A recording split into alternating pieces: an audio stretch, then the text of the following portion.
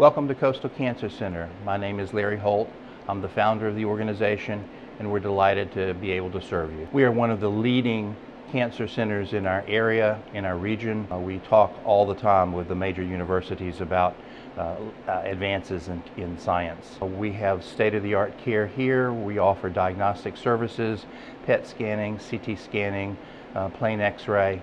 Uh, we also offer laboratory and, and other diagnostic uh, laboratory testing, bone marrows, uh, and we do chemotherapy in the office. We have top-notch physicians, nurses, uh, medical assistants, and support staff. Additionally, we have a great family of employees here that support each other, that care about each other, that help interact in a positive fashion to provide a loving, caring environment for our our staff. It gives us all a good feeling just to know that we've made a positive impact on somebody's life. Coastal Cancer Center provides state-of-the-art care locally.